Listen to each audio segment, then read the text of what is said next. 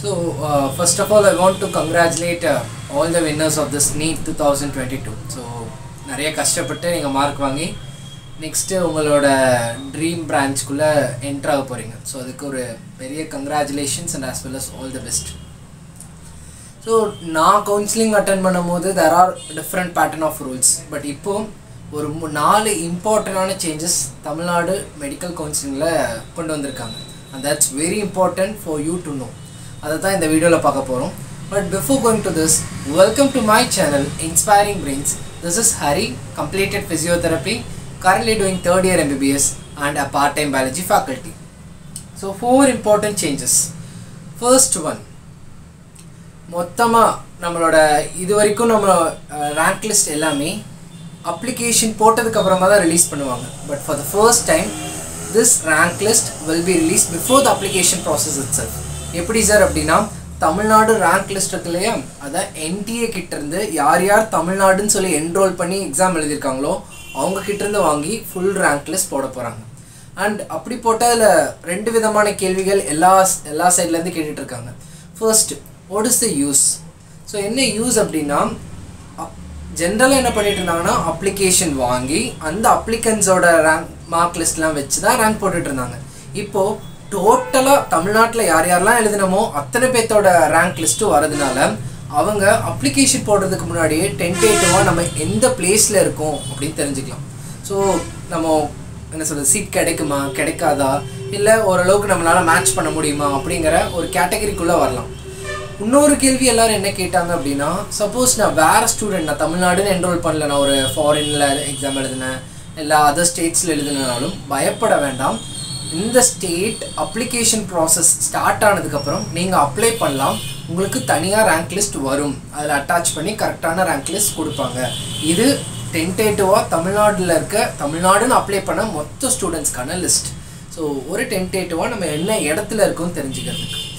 ரெண்டாவது முக்கியமான change regarding fees நான் கவுன்சிலிங் அட்டன் பண்ணும் போதெல்லாம் ஜென்ரலாக கவுன்சிலிங்க்கு போவோம். அங்கே நம்ம ரேங்க் லிஸ்ட்டுக்கு தகுந்த மாதிரி கூப்பிடுவாங்க.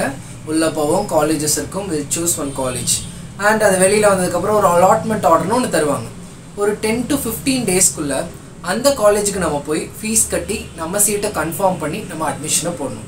இதான் நான் அட்டன் பண்ணும்போது இருந்த ரூல்ஸ் இப்போ என்ன பண்ணிட்டாங்கன்னா ஒவ்வொரு காலேஜ்லேயும் தே தேவையில்லாமல் எக்ஸ்ட்ரா ஃபீஸ் வாங்குறாங்கன்னு ஒரு கம்ப்ளைண்ட் வந்ததுனால ஃபீஸ் ஃபிக்ஸேஷன் கமிட்டி என்ன பண்ணியிருக்காங்கன்னா நம்ம கவுன்சிலிங்கில் ஒரு காலேஜ் எடுப்போம். அந்த காலேஜ்க்கான ஃபீஸை அந்த செலெக்ஷன் கமிட்டியில் அங்கேயே கட்டிடுவோம். அந்த கமிட்டி நம்ம எந்த காலேஜ் எடுத்தோமோ அந்த இடத்துக்கு அந்த காசை ட்ரான்ஸ்ஃபர் பண்ணிடுவாங்க. ஸோ நமக்கும் அந்த காலேஜுக்கும் எந்தவித கனெக்ஷனும் இருக்காது ரிகார்டிங் திஸ் ஃபீஸ் அப்போ இது எதுக்கு சார் அப்படின்னா ஒரு நார்மலைஸான ஃபீஸ் எல்லா இடத்துலையும் கரெக்டாக இந்த ஃபீஸ் தான் வாங்குறாங்க. எல்லா ஸ்டூடெண்ட்ஸ்கிட்டையும் இதான் வாங்குறாங்க நம்ம இதுலேருந்து தெரிஞ்சுக்கலாம். ஸோ அந்த டென் டேஸ்க்குள்ளே நீ வெறும் சர்டிஃபிகேட்ஸை காமிச்சு வெரிஃபை பண்ணி அட்மிஷன் போட்டால் போதும். ஃபீஸ் ஆல்ரெடி கட்டிட்டீங்க.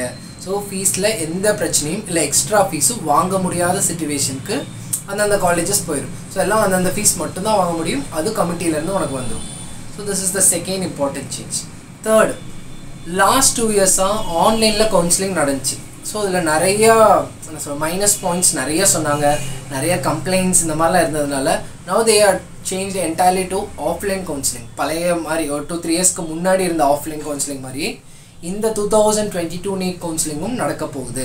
ஸோ இட்ஸ் என்டையர்லி ஆஃப்லைன் நீங்கள் போயிட்டு சிஸ்டமேட்டிக்காக அந்த சிஸ்டமில் இது வரும்.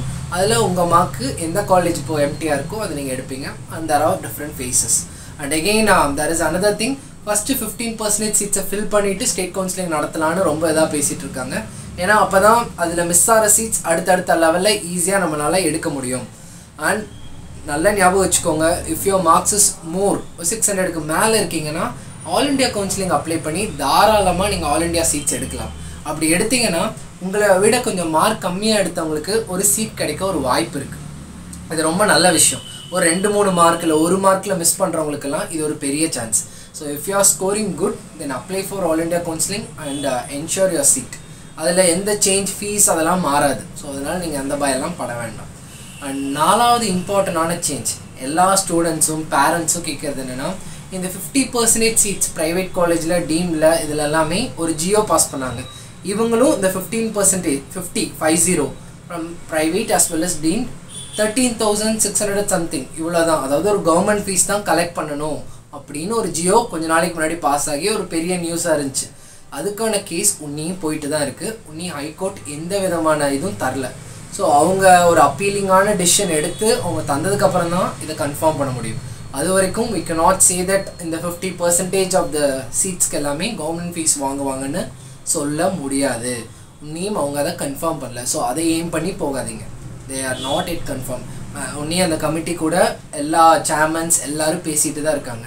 ஸோ ஆன் ஒன் சைட் அவங்க அதை ஒத்துக்கல. இந்த சைட் ஒத்துக்கணும். So there are so many clashes so still we doesn't know until the high court is order so these are all the four important changes for the Tamil Nadu state medical counselling இதில் ஒன்றையும் ஒரு பக்கம் பார்த்துட்டிங்கன்னா ஒவ்வொருத்தருமே அவங்கவுங்களோட cut off அனுப்பிட்டு sir எனக்கு இந்த இடத்துல சீட் கிடைக்குமா? சீட் கிடைக்குமான்லாம் கேட்குறீங்க ஸோ நான் எந்த அனாலிசிஸில் சொல்கிறேன்னா so seven twenty out of seven twenty யாருமே வாங்கலை. செவன் ஃபிஃப்டீன் தான் first mark so what I'm thinking is கண்டிப்பாக கட் ஆஃப் அதிகமாகாது. கம்மியாகிறதுக்கும் சான்ஸ் இல்லை. ஏன்னா ஒவ்வொரு மார்க்லேயும் இருக்கிற கேண்டிடேட்ஸ் அதிகமாக இருப்பாங்க. ஸோ மேபி மேக்ஸிமமாக அதே கட் ஆஃப் தான் ட்ராவல் ஆக சான்ஸ் இருக்குது அதை வச்சு தான் உங்களுக்கு காலேஜ் எங்கே கிடைக்கும்னு நான் ஒரு ப்ரெடிக்டடாக சொல்கிறேன் and if at all this rank list is released கண்டிப்பாக ஒரு நைன்டி நைன் பர்சன்டேஜ் அக்யூரேட்டாக உங்களுக்கு எந்த காலேஜ் கிடைக்கும்னு சொல்ல முடியும் ஃபர்ஸ்ட் ரெண்டாவது உனக்கு நிறைய சாய்ஸ் இருக்குது நாலு காலேஜ் இருக்குது அதில் எந்த காலேஜ் எடுக்குன்னு தெரியலங்கிற போது you can just put it இந்த comment box or through my Telegram you can ask and அதில் எது பெஸ்ட்டோ என்னோட நாலேஜ் படி அதை உன்னால் என்னால் கைட் பண்ண முடியும். மூணாவது நிறைய பேர் நல்ல ஒரு கேள்வி கேட்டிருந்தீங்க. பெரிஃபரல் காலேஜ் எடுக்கிறது நல்லதா?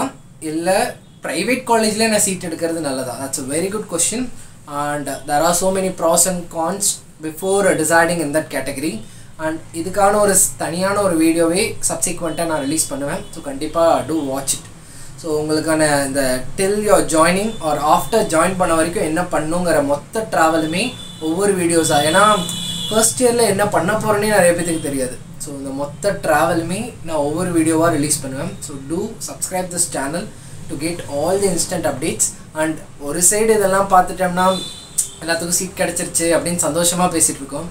ஆன் த அதர் ஹேண்ட் ஒரு மார்க்லேயோ ரெண்டு மார்க்லேயோ இல்லை பத்து மார்க்லேயோ இல்லை ஏதாச்சும் சின்ன தப்புலையோ இதுலலாம் நிறைய பேர் கம்மியாக இருப்பீங்க இல்லை மறுபடியும் நான் ப்ரிப்பேர் பண்ணணும் ஃபோர்த் அட்டம் தேர்ட் அட்டம் எடுக்கிறவங்களாம் நிறைய பேர் இருக்கீங்க. கண்டிப்பாக உங்களுக்கும் சப்போர்ட் பண்ணுற மாதிரி வீடியோஸ் நிறையா நான் போடுவேன்.